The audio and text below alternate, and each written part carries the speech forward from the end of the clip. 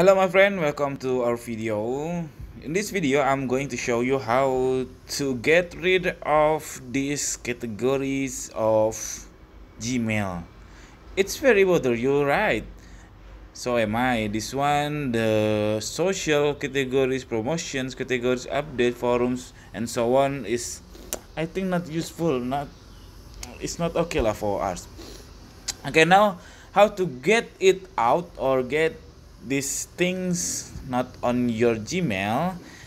Now first you log into your uh, Gmail and then click this three stripe, three dash, and then choose the click the settings and then choose which account you want to settings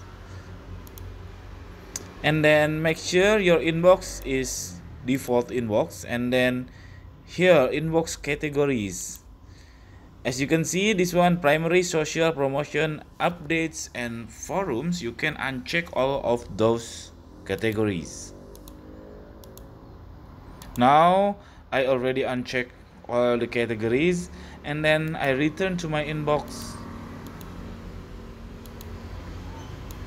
Very nice. There is no social there is no promotions and so on I hope this video helpful to you. If you have any question don't hesitate to put on the comment below. Thank you